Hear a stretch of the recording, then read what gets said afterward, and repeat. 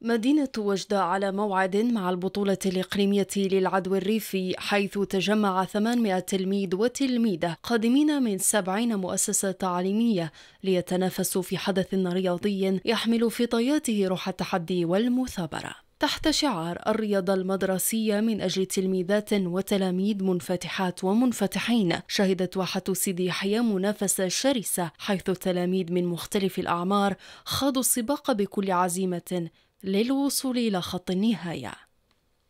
اليوم في هذا العرس التربوي الرياضي تنظيم المديرية الإقليمية بوجدة أنقاد البطولة الإقليمية المدرسية للعدوى الريفي.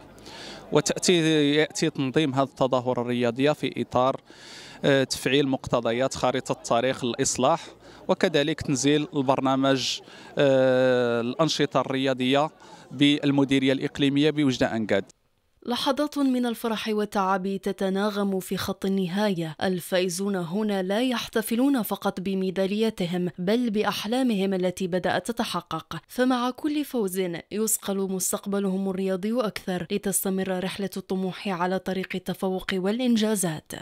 فزت بالمرتبة الأولى وكان كان نقدم هذا الفوز للوالدين دياولي والمؤسسة الثانوية التأهيلية معاذ بن جبال والأستاذ نتاعي الهلالي مولاي إدريس. والرسالة اللي كنقدمها للشباب والشابات يزولوا الهوايه تاع العدو للرياضة. سعيد جدا في هذا اليوم واحسد بشعور لا يوصف.